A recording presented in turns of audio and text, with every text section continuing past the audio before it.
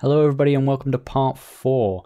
Uh, we're going to be doing something very important today and setting up a crucial piece of our game structure, which is our player state machine.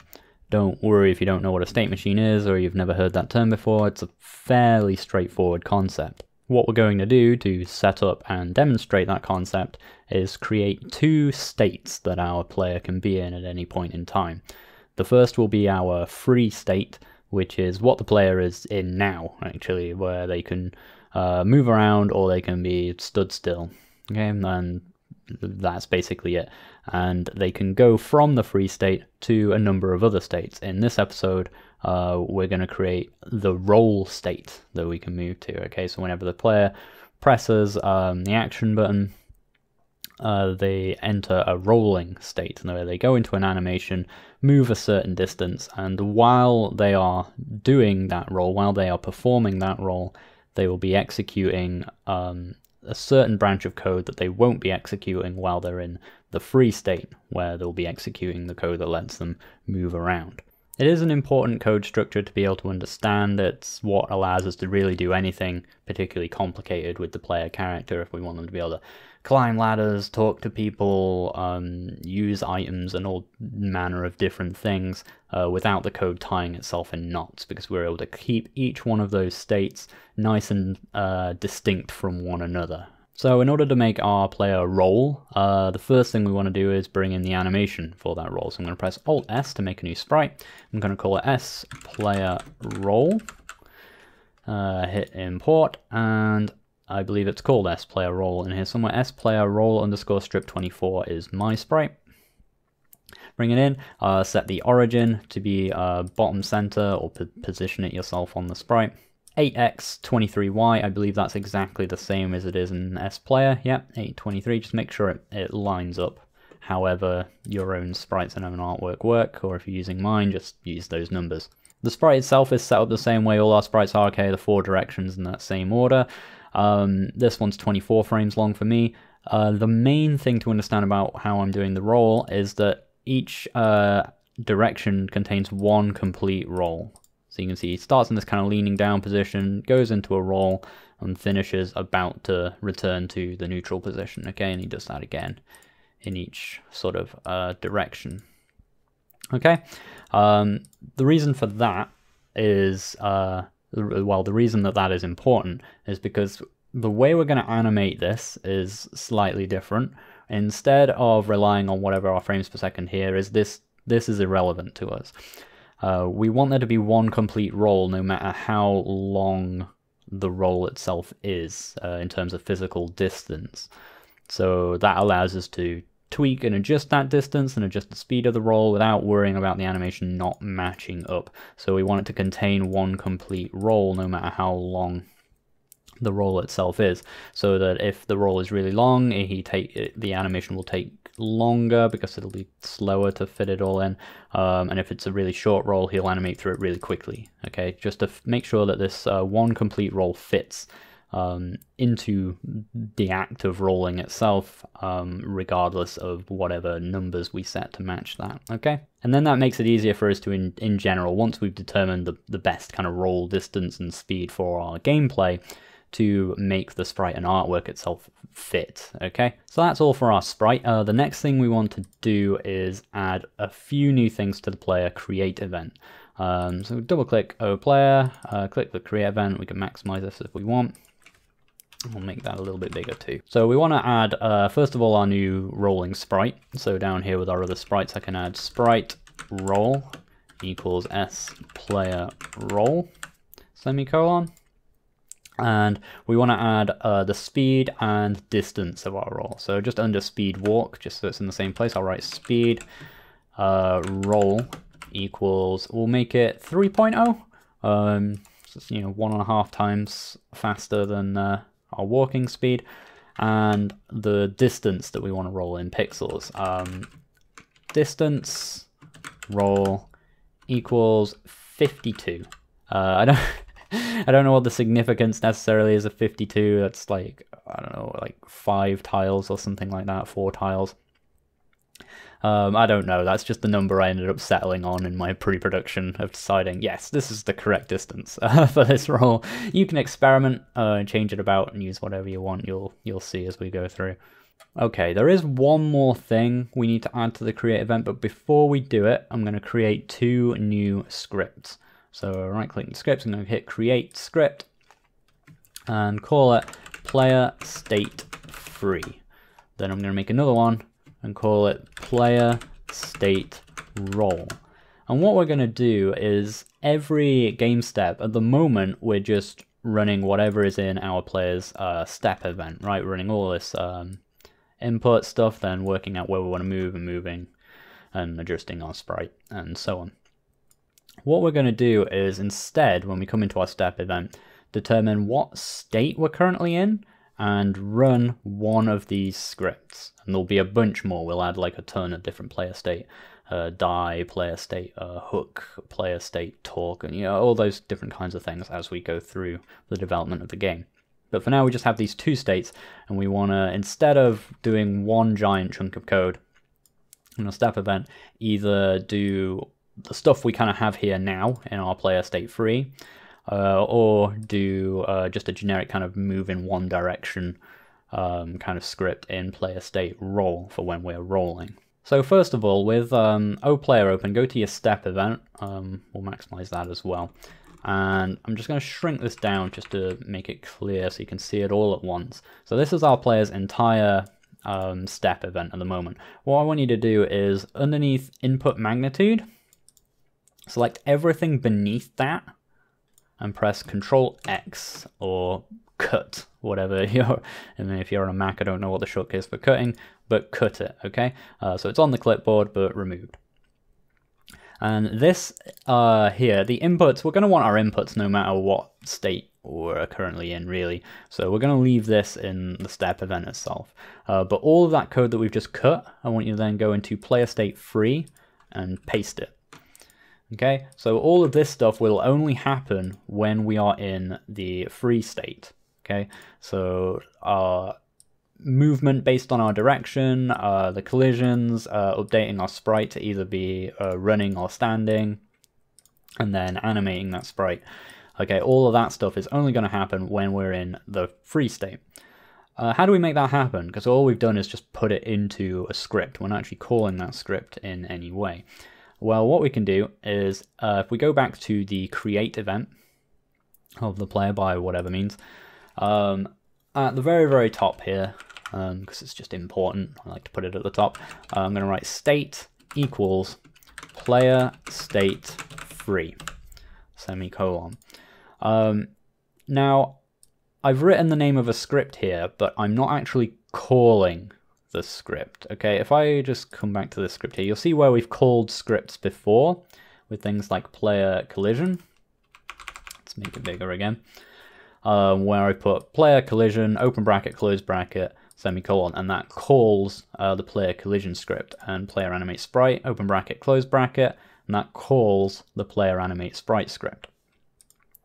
Um, but that's because I've put these brackets at the end here. If you put these brackets here, or, or if you supplied arguments to uh, a script, um, then GameMaker knows it needs to call that script and actually execute its contents. If you write it without the brackets, then you're not actually calling the script, you're just referring to the that script itself. So if I now come back to our create event here, where I've written this uh, without writing the brackets, um, all I've said is that state um, is going to equal a reference to that script. Okay, it's not going to call the script, it's not going to run the contents of that script, um, it's just referring to it, which allows us to then tell GameMaker later to execute whatever script is contained in this variable. Very, very useful, okay? And what we can do is just swap that state between this script, player state free, and any of our other player state scripts, uh, in this circumstance, that's just player state roll, all right? So now that we've set that variable to be that script, how do we call it? Well, if we come back to the player step event, um, million and one ways to get there, I have it open here, um, so which is just currently our inputs. If I write script underscore execute, the bottom of here, open bracket, we can then provide the name of the script, which is uh, state. Uh, because we know that player state free is in state. And then any arguments we need to supply to that script. We don't have any arguments that we need to supply to any of the scripts we've made so far. So um, I don't need to put any of those in, and I can just close the bracket there, semicolon. So because we know that all is contained in state is a reference to, um, if I go to the create event, player state free, and player state free just contains all the code that we had uh, in the step event before, um, we can therefore conclude that if we were to run the game, we've got exactly the same game that we had before, okay?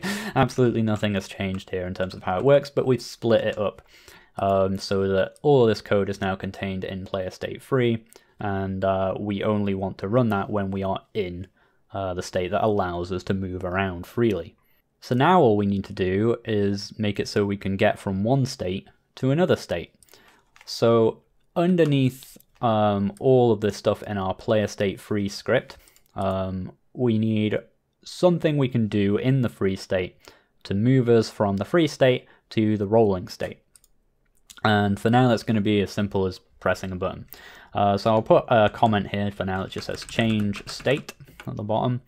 Um, so we've done everything on a frame and then uh, right at the end of the frame we're going to check to see if we've pressed a button or done some combination of things in the game that allow us to change state. For us that's just going to be if key activate. You'll remember key activate from um, the step event of the player um, as one of the, the keys we defined earlier as the spacebar. And uh, what we're going to do is if that key has been pressed, um, I'm going to set state to equal player state, oh sorry, it's need a capital P, player state roll, semicolon. And also move distance remaining is going to equal distance roll. You remember the value that we set to 52. Um, we're going to set up a new variable to equal that value and basically we're going to reduce that value until it hits zero and that's when we're going to stop rolling. But um, in order to start rolling, we have to set that to a high value. So we're going to set that to be 52. You'll see how that works in a minute. Uh, close the bracket here, but that's all that's necessary is to set state to equal player state roll, because then the next time uh, the step event loops around, um, and we get down to here, script execute state, it's going to execute the roll state, which is currently blank, instead of the free state. So what do we think that will currently do? Uh, since player state roll is currently totally blank, what that means is if we run the game, we're able to move around like this normally, and then the moment we press the spacebar, the player just freezes and is unable to do anything else. Because we're, we're still getting our inputs and everything, that's still happening in the step event, but then it's executing this script uh, which is completely blank, okay, and, and therefore is not never going to do anything else, not animating or doing anything, okay? All right, so the last thing we need to do now is just actually fill out the roll state with what we want to happen to enable us to actually roll. So the first thing I want to do is similar to player state free, um, is calculate where we want to move. Previously, in player state free, that was based on whatever our input magnitude and input direction were, but since rolling is just, we just want to roll in one fixed direction. We don't want control over which direction we're rolling as we're rolling. Um, we're going to assume that we've already set a direction by facing a particular direction before pressing the roll. So whatever direction we were in when we entered the state is going to be the direction that we continue to roll. So our movement uh, is going to be a bit simpler. It's going to be h speed equals length the underscore x um, and then we just provide a length and a direction for how much we want to move horizontally. Uh, that's speed, roll, which we know is like 3.0 uh, from here. And in the direction of direction, just whatever direction we're currently in. And v speed is going to be the same but vertical, so equals length the y, open bracket speed, roll, comma, direction. And that's it. All right, so that's going to set us up for moving in a particular direction forever, right? Um, although we haven't committed to that movement itself yet. But um, what we want to do is make sure this movement speed eventually ends, and that's what our move distance remaining variable is about. Okay, so I'm going to type move distance remaining again, to, and we're going to set it to equal max. Um, max is a function that returns the biggest of whichever values you put into it. So whatever is bigger out of zero, or move distance remaining minus speed roll because we can assume we've moved speed roll amount in whatever direction okay? So we, have moved three to the right or whatever you know we so we're re removing the distance we've just moved from however much we've got left to move. Okay um, the reason we do a max with that rather than just subtracting it from it is so we make sure that it definitely hits zero and doesn't go to say minus one or whatever. I don't think that's really a problem here, but it's just, you know, just decent practice to make sure of that. Um, then I'm going to write var underscore collided equals player collision open bracket, close bracket, semicolon. That's going to call our collision script again, as you'll remember from the free state um, but it's going to return the results of that collision into this temporary variable collided. You'll remember we set that up. If I go into, if I middle click on that, uh, come into player collision, remember we set this variable at the top here, var collision to be false, um, and then collision true and so on, and then it returns it. Um, the re return of underscore collision there will get put into underscore collided here, okay? Um, so we know whether or not there was a collision, and it's going to put it into this variable. We didn't have a need for that in the player state, so we just call the script and we don't care what it returns. It doesn't return it anywhere. But in here, I actually care about whether or not we collided. Uh, we won't for this particular episode, but I'm setting it up now. Basically, what I'm going to have happen is when we do collide with a wall, eventually we're going to have like a bonk effect. Okay, so we hit the wall and then we kind of bounce off of it. Not necessary right now, we're just going to stop moving when we hit a wall, um, but later we're going to want to know that. So that's why I've written it this way instead of just calling the script by itself. Uh, next, we're going to update our sprite um, according to how far into the roll we are. We're going to do it a bit differently to how we uh, animate the sprite in the free steps. I'm going to write update sprite. First of all, we know that the sprite index is going to equal sprite roll.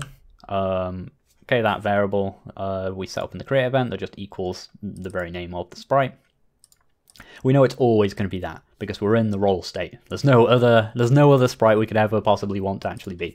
Okay, um, then var underscore total frames uh, equals sprite underscore get underscore number sprite underscore index close bracket divided by 4. You'll remember that line, that's just telling us how many um, frames there are in a single direction's worth of animation. Uh, but this next line is a bit different, and this is why we're not just calling the player animate sprite script, um, we're doing it a bit differently. As I said before, we want to make sure there's only like one complete roll across the course of the animation. And in order to simplify this a little bit, I'm actually going to make a new macro um, called, so if we go to macros, here are all cat script, I'm going to type hash macro uh, cardinal underscore dir. And that's going to, e oh, well, it's not, you don't put equals in for a macro, I forgot. But you'll remember in player animate sprite before we have this, var underscore cardinal direction equals round direction 90. I'm going to copy and paste, well, I'm going to copy this, round direction divided by 90, come back into macros, and paste that on the end of here without the semicolon, remember. Um, because we're actually going to use this quite a lot throughout the game. Um, and rather than just write this out every time and remembering what it needs to be every time, it's easier to just stick it in a macro and then we can just write cardinal dir everywhere we need to use it. Um, interestingly, at the same time, if you go back to player animate sprite, that means we can now actually remove this line entirely and simply swap the one reference to it here, underscore cardinal direction, uh, with that macro. And we've got exactly the same code because it's just going to put this uh, function here directly into where we put that there, okay?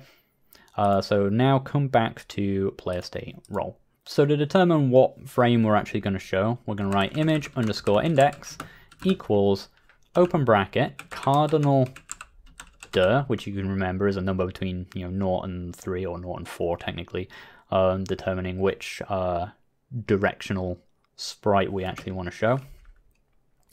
Multiplied by underscore total frames. Okay, so that's going to put us at the start of a particular animation because it's either going to be frame 0 or frame 6 or frame 12 or frame 18, right? Then we simply need to add uh, the number between 0 and 5, which uh, tells us how far along in that particular animation we are. So plus, open bracket, open bracket, 1 minus, open bracket, move distance remaining divided by distance roll, close bracket, close bracket, multiplied by underscore total frames, close bracket, semicolon. Let's shrink that down, that's quite a long line just so you can see it all at once. So we know that move distance remaining is a number between 0 and 52, alright, depending how far along the roll we're at. Distance roll is 52 itself. Um, so this here, move distance remaining divided by distance roll, simply tells us how far along the roll we are. Or rather, it tells us how much of the roll is left, because 52 over 52 would be 1 or 100%, right, of the roll left to go, and like uh, 1 out of 52 would be like a very small percentage, and 0 out of 52 would be 0 or 0%, right, of the roll left to go. So if you take that figure and subtract it um, from 1, uh, what that gives us is the inverse. Okay, it tells us how far along the roll we actually are. Because 52 over 52 would be 100% or 1, so 1 minus 1 would be 0, with 0% along the roll. Uh, half of that, like 26 over 52, would be like 0.5. 1 minus 0.5 would be 50, uh, 0.5, uh, you know, 50% along the way, okay?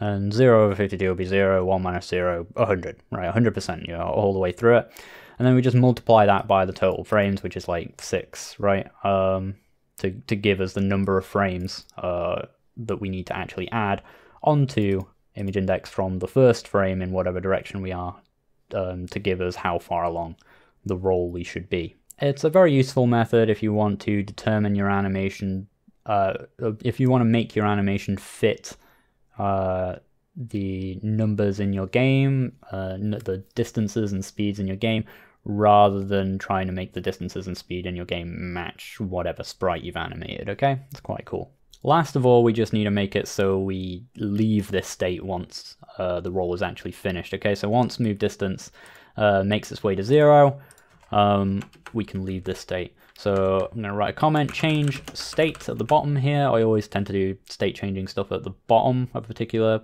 state script. Uh, if move distance remaining uh, less than or equal to zero. We, we actually know it can never be less than zero because the max statement, but I just like to be extra safe because why not? Uh, open bracket, close bracket, and in the middle here, write state equals player state free semicolon. Remember, no open bracket, close bracket here, just we set it to equal the script, not call the script. All right, that is our complete uh, roll state. You'll see, obviously, we've got a warning here that's telling us we're not using underscore collided. As I said, we're going to use that later, so don't worry about that. I'm going to press F5 now. You can see we can move around, and if I press the spacebar, we do a complete roll. You can see he finishes one complete loop of the animation because that's determined uh, by how um, that, that that's set to fit no matter how long or how fast uh, the roll itself is, which is handy because we can now go into OPlayer, go into the create event, and we can change these values around and it won't um, cause our animation to screw up or not play all of its frames and so on. So I could change this to be, say, 72, have a bit of a longer roll distance. If I just space here, press space, and you see I've got a nice long roll, but he still plays the full complete animation in that direction. Okay, so one mistake I noticed at the end of the video there, and you might have noticed it as well if you have a particularly keen eye, is that this wasn't working quite right. So I've just I've adjusted the, the frame rate to 15 just to sort of show you what the one problem we had was. And you can see if I roll upwards here, did you spot it? The very, very last frame was slightly off and was actually showing the first frame of the next direction in the sprite. There's a, a lot of ways uh, throughout making this game where this kind of error manages to pop up in lots of different ways. It's one of the um, slight annoyances of trying to do a system like this is uh, handling it manually. You do have to account for a lot of sneaky edge cases you wouldn't otherwise. But you'll notice in every direction here, easier to notice if I roll, roll against a wall because then I'm stationary. The very last frame, it only happens for a split second, because it's only the very last frame, is wrong. Um, the reason that is, if we come into the player state roll here, is because um, the final destination of this um, being, you know, um, 1 minus 0 here, so 100% times total frames, actually puts us um, on the very next frame. Uh, uh, so if we're uh, on, on the next direction. So if we're here at 0, um, we've got one, two, three, four, five, six. Uh, there's the six total frames in here, right, uh, in this direction. But if we go from frame um, zero, index zero, and we add six, uh, that puts us on index one, index two, index three, index four, index five, index six. So you see here, and it's only the very last frame because um, before that, if we're at 0.99 or whatever uh, percent, if we're at 99% of the way through, we would still be on like frame uh, 5.99 or whatever, right? Which still works out as this sprite because it gets floored, I, I think. Um, so only for a very, like a single frame are we on this frame. Um, now we can't just subtract one because then we'd be skipping the first frame or whatever as well. But the way we can fix this is to basically just make sure uh, that value uh, never actually goes um, above uh, total frames minus one. So it never goes, um, uh, in this case, above uh, five. All right. Um, we can do that simply by using a min statement, similar to how we used the max one here, which returns the biggest of the two values. Um, if we wrap this around here, this this whole section here, because this tells us where we want to start, and then this is just a number between 0 and 0 and 6 currently. Uh, but we want it to actually be a number between 0 and 5, alright? Um, so we can just simply write min here, open another bracket, uh, this whole equation, or comma, uh, total frames uh, with the capital F minus 1, close bracket. Alright, uh, very simple fix. There might be even simpler fixes, but this is the simplest one I could think of off the bat. Uh, something I hadn't noticed throughout the whole pre-production of this is that uh, little error there with the roll. Uh, but it does exist and that should fix it. And if we press F5 now, I'm keeping the frame rate really low just so we can see. We see the whole thing go through.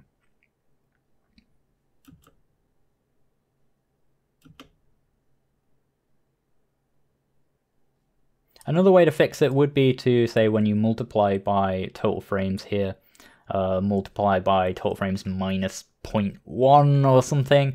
But not only is that kind of messy, but it also, um, the, the more you minus it by means technically the last frame uh, gets shown for a short period of time as well. So we don't want that. So we still want to see that, that, that final frame for the same duration as all the others.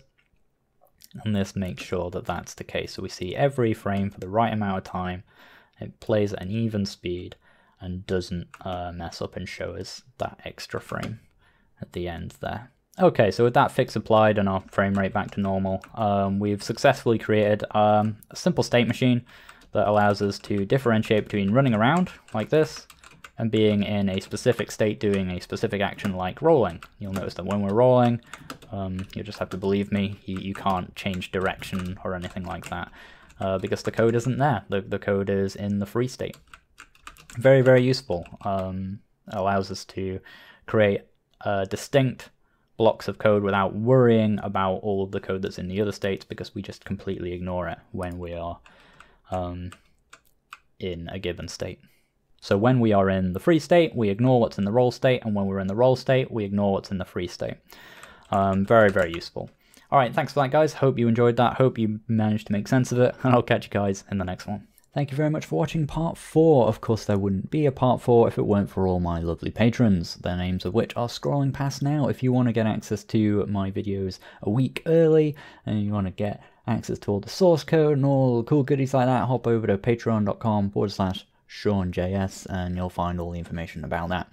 In the meanwhile, uh, big thanks in particular and in no particular order to the following Bailey Raid, Bowser the Dog, Bertie T, Cabbage Pants, Dakadondago, Dark Rider 0318, Do What Doobie, Gargoyle Drake, Hanukusi, Hare, Hyungjin, James L. Anderson, James Siggins, Jason, Christopher King, Leo, Maria Celeste Oliveira Frailing, Max M, Nathan Wilson, Pixel Mush, Relentless Rex, Rennie Dam, Robert Churches, Rovan Darlin, Run, Rupinder, Schaefer, Scott Matthews, Samir Nyailegaglo, Stephen Hagen, T. Lesson, Travis Womack, Tyler Hubble, Victor Stewart, Phil Vertinen, Zephyr Flame, and Zinan May. Thank you all ever so much for your support, and thank you for watching. Catch you all next time.